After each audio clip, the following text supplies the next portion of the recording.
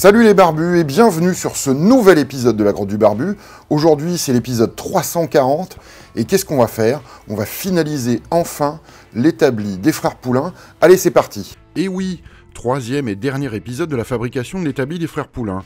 Dans le premier épisode on avait fabriqué le plateau, dans le deuxième on avait fabriqué les pieds. Aujourd'hui on va finaliser le tout et on commence avec un système de roues escamotable, donc papier crayon et jus de cerveau.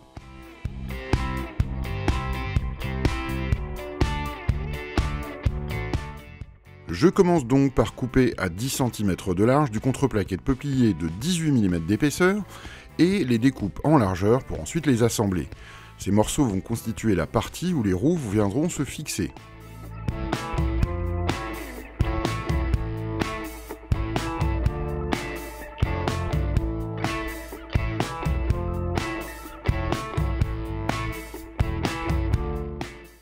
J'ai laissé la colle sécher pendant quelques heures, je marque et perce de part en part le support des roues avec un trou de 12 mm.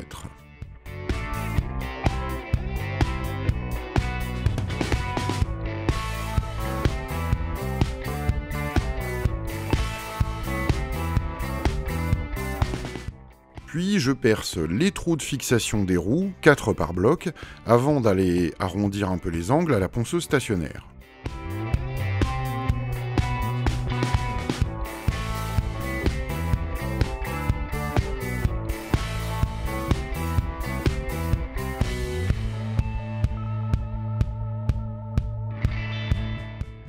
Quand tout ça est fait, je peux fixer les roues à leur platine avec boulons, rondelles et écrous.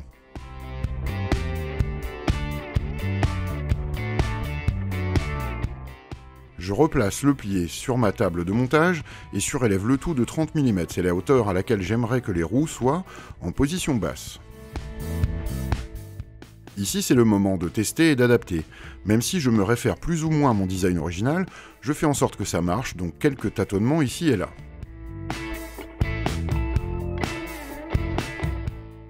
Je découpe des éléments qui vont servir de support pour l'axe sur laquelle la platine va pouvoir pivoter et je fabrique ça en bois de récup, ici du CP de 15 mm d'épaisseur.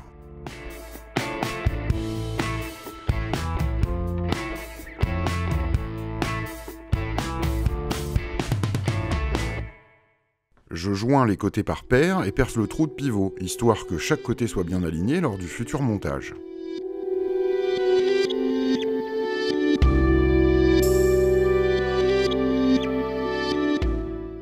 Je découpe le surplus à la scie à ruban et direction la ponceuse stationnaire, histoire d'adoucir un peu toutes ces découpes.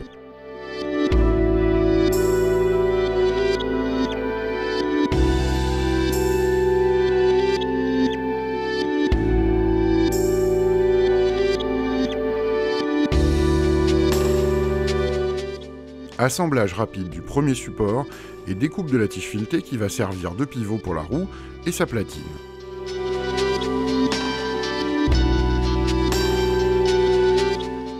Assemblage rapide de tout ça, montage sur les pieds et test. Le principe est concluant, on va pouvoir assembler les trois autres systèmes de roues de la même manière.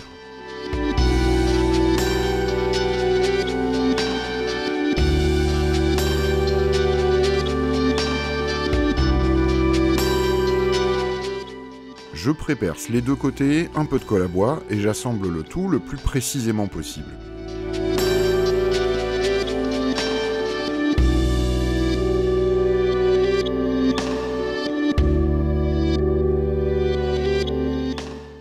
Je préperce 4 trous de fixation et je peux assembler le tout en utilisant un morceau de tige filetée, deux écrous et des rondelles de chaque côté mais aussi pour espacer le tout. Pour finir, j'utilise du frein filet pour éviter que les boulons ne se dévissent au fur et à mesure de l'utilisation du tout.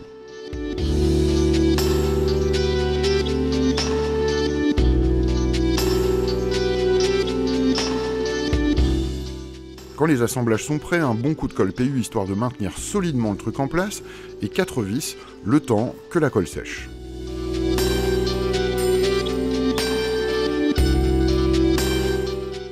Maintenant, il va falloir concevoir le système de levage des roues. Idéalement, le faire avec un seul pied, donc je teste un double système de levier.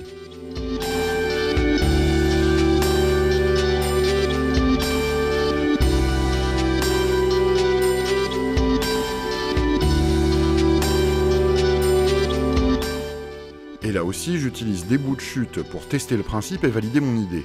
Le premier levier fait action en même temps sur le deuxième, qui est guidé par des morceaux sur les côtés et bloqué en place par un morceau de bois qui pivote sur un axe.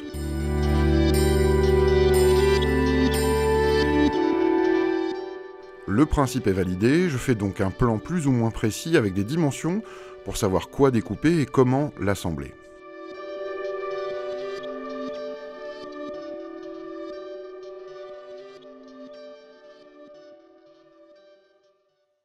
Je découpe donc tous mes morceaux en suivant le plan fait au préalable, d'abord à la scie sur table pour la largeur, puis à la scie à onglet pour la longueur.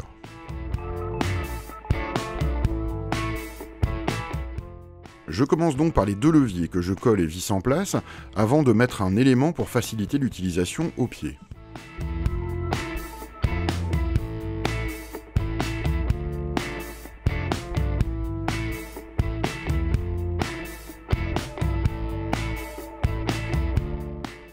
Je mets en place les guides latéraux et badigeonne le tout de graisse pour éviter les frictions bois contre bois.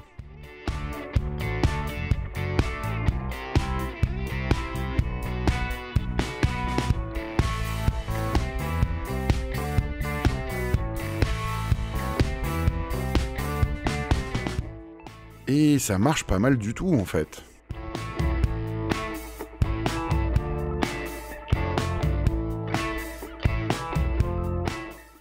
Vient maintenant la fabrication du système de verrouillage. Je découpe donc deux quarts de cercle dans du CP avec rectification à la ponceuse stationnaire.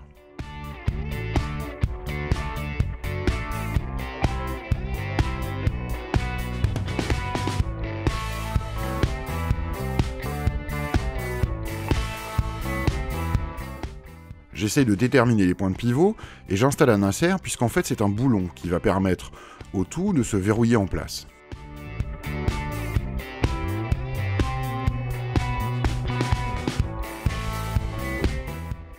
Je fais un espace pour la tige du boulon à la perceuse et scie à ruban et teste le tout. Et ça marche relativement bien.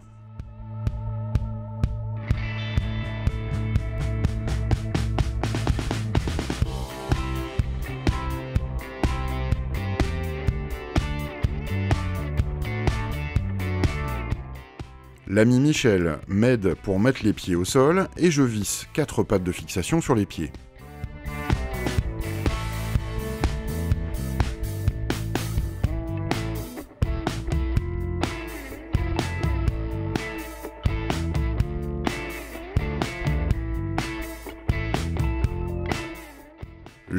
Pieds sur leur nouvelle roue pour y poser le plateau, je le positionne correctement et le visse en place. Super pratique ce système de roue escamotable qui me permet de bouger l'établi tout seul et qu'il soit quand même solidement ancré sur ses pieds quand il ne bouge plus.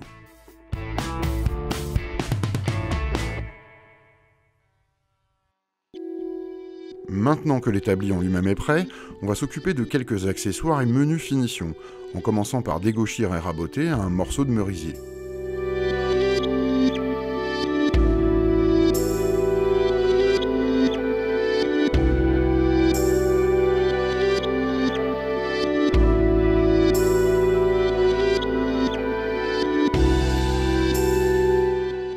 avant de le couper en sections carrées.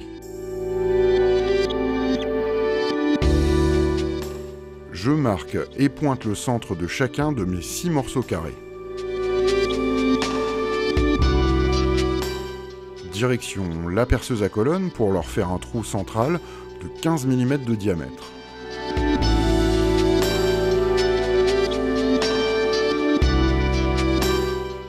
Je coupe 6 goujons de 15 mm de diamètre que je viens coller dans le trou fait précédemment.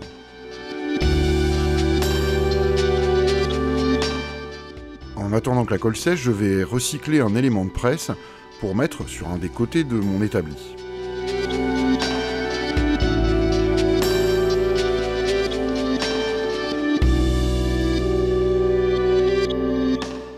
J'ai deux morceaux de sapin qui vont être parfaits pour ça. Donc je commence par les découper grossièrement à la bonne longueur et largeur.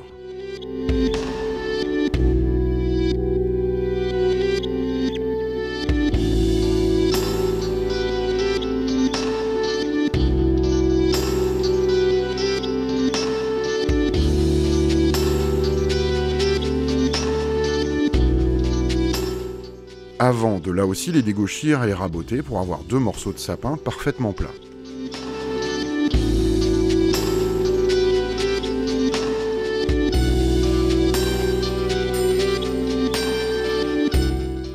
Pour enfin les découper à la bonne largeur de 20 cm.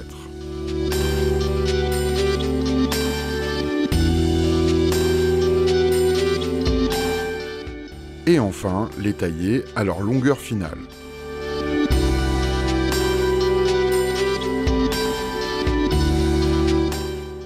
Je place la platine de ma presse et marque les trois trous qui doivent être percés à respectivement 15 et 20 mm de diamètre. Il va falloir maintenant faire une petite place pour la platine. Je marque et délimite l'espace avec un ciseau à bois.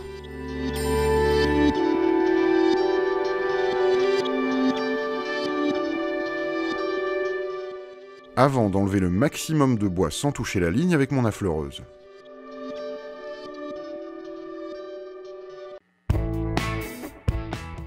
Je finalise le tout avec mes ciseaux à bois jusqu'à ce que la platine rentre parfaitement et la fixe avec deux vis.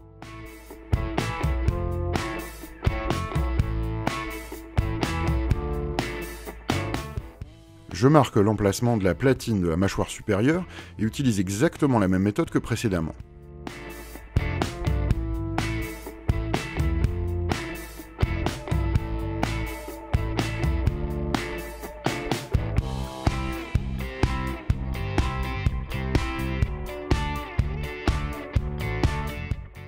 Et assemblage final sur l'établi ici avec de la colle et quelques vis.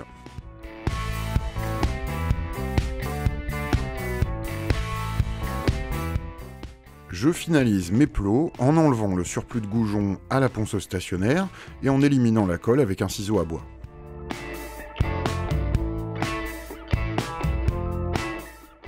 Dernier élément, j'ai envie de mettre en place un système d'accessoires et d'utiliser le pseudo-système MFT que j'ai mis en place en utilisant l'espacement de 100 mm entre les trous.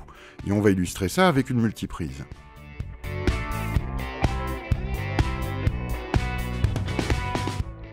Je perce donc une plaque de contreplaqué et utilise les trous pour les reporter sur un des côtés de mon établi. Je fixe la multiprise, colle de goujon et on va attendre que la colle sèche.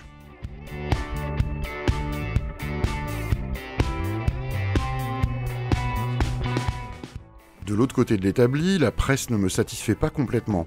Les bords bougent beaucoup trop, donc je vais mettre en place des guides, donc perçage de trous à 15 mm et mise en place de deux goujons longs de 15 mm. Un peu de graisse pour éviter les frictions, c'est pas parfait mais c'est un peu mieux.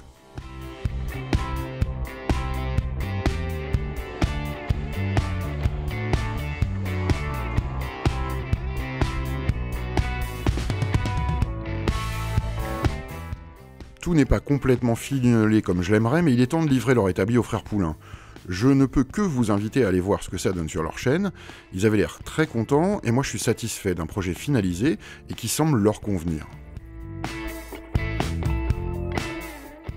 Que dire sur cet épisode? C'est le troisième et dernier sur bah, la construction de l'établi euh, pour les frères Poulain. Dans le premier, on avait fait le plateau, dans le deuxième, on avait fait les pieds, et dans celui-là, on a fait un système de roues escamotables et quelques accessoires, c'est-à-dire une presse sur un des côtés, le système d'espèces de plots pour le pseudo-système MFT, et surtout sur le côté, j'ai fait un système pour pouvoir mettre des accessoires. J'ai livré l'établi aux frères Poulain, ils ont l'air très contents. Euh, je vous invite à aller voir leur chaîne, je vais la mettre dans la description euh, pour ben, dire ce qu'ils en pensent, je sais pas trop ou le voir en action. En tout cas, moi, je me suis bien marré à faire ces trois épisodes et à faire cet établi pour les frères Poulain. Et on va revenir un tout petit peu sur ce qui s'est passé dans cet épisode. Dans cet épisode, le but était de finaliser tout ça. Et la première chose, euh, c'était ben, l'établi doit peser à peu près entre 80 à 100 kg, je pense. Et donc c'est difficile à trimballer tout seul. Donc je me suis dit, il faut faire un système de roues escamotables. Je suis allé voir un peu sur le web ce qui se faisait. Il y a des choses qui se vendent mais qui sont en gros 70 balles une roue. Donc je me suis dit que avec un peu d'ingénierie et un peu d'inventivité, on pourrait éventuellement faire un système qui marche. Mon but était de faire un système qui puisse s'activer seul et avec le pied. Pour répondre à la contrainte seule, oui c'est possible. Avec le pied, bah, pas vraiment. J'ai fait un système qui marche, mais euh, qui n'est pas complètement au point à 100%. Et on en arrive à un, point qui est intéressant, c'est jusqu'à quel point est-ce qu'il faut qu'on pousse le système et l'ingénierie qui va avec. Pour être clair, je pense pas que euh, cet établi, euh, les frères le trimballent tous les jours. Donc un système qui marche pour une fois de temps en temps, c'est largement suffisant. Donc plutôt que de tout refaire et tout réingénierer, je me suis dit, on va essayer de faire au mieux pour que ben, quelqu'un de seul puisse quand même le trimballer et l'activer sans être spécialement idéal, entre guillemets. Mais c'est un système, je pense, de roue escamotable. Je vais essayer d'améliorer parce que je pense que c'est vachement intéressant pas spécialement des établis, mais d'autres éléments que vous avez envie de pouvoir trimballer à droite à gauche, qui puissent reposer sur son pied, qui puissent être bien stables, et une fois de temps en temps, que vous puissiez aller trimballer. Comme vous l'avez vu, le principe de prototypage, il est relativement simple. Je pars avec des chutes, j'essaye de faire un premier modèle, je vois si ça marche, et ensuite je passe en, je passe en production. Je pense qu'il y a plein d'éléments qui pourraient être intéressants de réingénierer, euh, mais là, clairement, pas, pas suffisamment le temps, et puis à un moment ou un autre, eh ben, il faut finaliser et pouvoir, livrer. Globalement, je suis plutôt content du résultat. J'aurais pu encore continuer à essayer de fouiner et remplacer plein de trucs à droite à gauche, mais je me suis dit, il est temps de livrer, il est temps que les frères Poulain puissent prendre la main sur leur établi et faire des trucs dessus. Les deux derniers accessoires que j'ai mis en place, bah, c'est la presse sur un des côtés, qui est en fait un recyclage d'une presse que j'avais sur un de mes anciens établis, et espèce de petit système d'accessoires. Voilà, c'est tout pour cet épisode. J'espère qu'il vous aura plu. Tous les liens pour me joindre sont bien sûr dans la description. Tu peux bien sûr laisser un commentaire, évidemment, tu t'abonnes. Un grand merci à tous les gentils barbus tipeurs et barbus scripteurs qui, tous les mois, nous envoient un petit peu de pognon, ce qui nous permet eh ben, de nous acheter du matériel ou de la quincaillerie. Ils ont droit à un live, un live Q&A VIP, le troisième lundi de chaque mois. Un grand, grand merci à eux pour leur soutien. Voilà, c'est tout pour cet épisode 340, l'épisode final sur l'établi des frères Poulain. J'espère qu'il vous aura plu. En attendant le prochain, faites des trucs, inspirez-vous, et que la barbitude soit avec vous.